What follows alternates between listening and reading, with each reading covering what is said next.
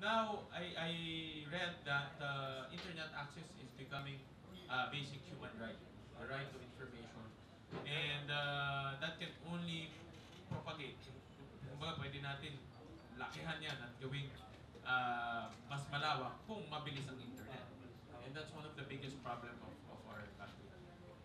Alam ko, concern naman natin lahat yan. Pero ah, mahirap man yung mangako ng mga ganung bagay. Ang siguro sa party ko, sa party ko po, mapapangako ko lang po sa inyo, ay titingnan po natin at ipapakompare natin sa ating ah, telecommunication carriers kung bakit mas mura talaga sa ibang bansa kaysa atin, kung hindi kung sumusunod sila sa practice binigay sa kanila. At base po sa findings doon, doon po tayo mag-proceed. Pero yun ang ating ah, mapapangako. Pero para masabi na magiging libre lahat, para hindi na po makatotohanan yung masasabi ko sa inyo.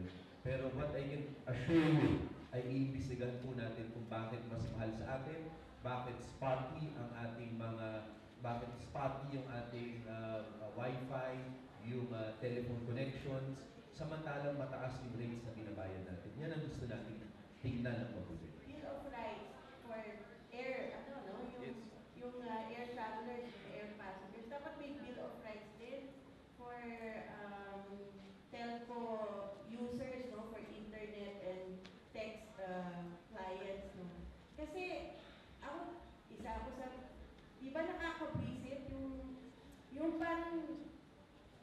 singil ng singil.